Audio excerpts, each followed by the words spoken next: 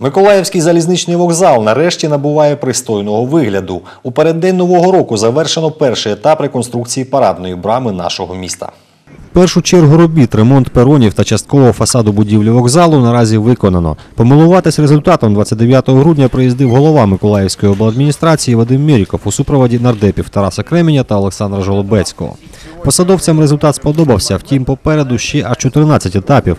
Зокрема, реконструкція залу очікування, квіткових кас, оновлення кімнати для військовослужбовців тощо. Усе обіцяють виконати протягом року, що настав. Это первый этап. Я уверен, что мы совместными усилиями в 2016 году перейдем ко второму, третьему и 17 этапу и завершим все ремонтные работы нашего вокзала.